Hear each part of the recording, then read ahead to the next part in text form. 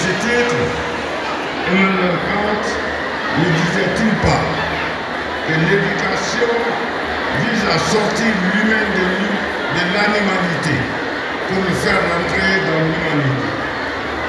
Aujourd'hui, face au comportement déviant, une caractéristique qui se caractérise par le mensonge, la calomnie, la diffamation, la rancune, la haine, la fourberie, la xénophobie, qui menace la vie, l'existence même de notre société, il est temps, voire urgent, que l'école et la famille, l'éducation et les parents mutualisent les efforts pour aider les enfants à être les dignes héritiers de la République de Dieu. C'est sous ces mots de conseil que je termine mon discours en remerciant très honorablement et les étudiants et le professeur de l'Université de Nouveau-Canada. Merci de votre énorme attention.